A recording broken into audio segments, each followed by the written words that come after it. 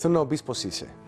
Ε, τούτη περίοδος η πιο, από τις πιο δυσκολες που έχω περάσει στη ζωή μου.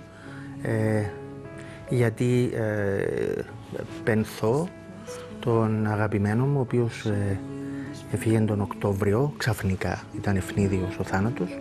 Ε, όπου ζήσαμε μαζί 18 χρόνια. Οπότε είμαι στην, σε μια πολλά ευάλωτη περίοδο της ζωής μου και ε, ε, μπορεί τη λέξη δύσκολη να την αντικαταστήσω με ε, γεμάτη προκλήσεις. Προκλήσεις στο να, για το καινούργιο ξεκίνημα. Το να βρεις ξανά τα πατήματά τα σου. πατήματα να διαπραγματευτώ με την απουσία, να την, την απουσία να την μεταφράσω σε παρουσία με έναν άλλον τρόπο. Να, θα είναι τόσο πολλά σκληρός. Εγώ επειδή στη ζωή μου είχα τέτοιες προκλήσεις ξανά με τον παπά μου, τη μάμα μου, ε, είχα, προ- πνευματικά είμαι αρκετά δουλεμένος, έχω δουλέψει.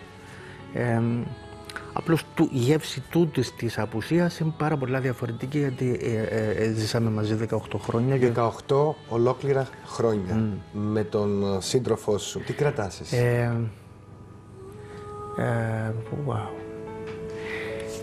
Το γεγονός ότι πριν συμβεί τούτον εν ήξερα πόσο μπορώ να αγαπώ έναν ξένο άνθρωπο. Δηλαδή ο συνήθως είχα το με την οικογένεια μου που ένστικτο, η αδελφή μου να την αγαπώ.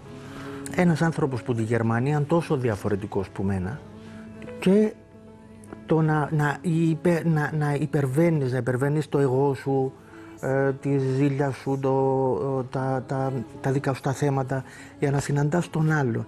Ήταν, ήταν δουλειά η οποία με τα χρόνια έφερε ε, πάρα πολύ αγάπη.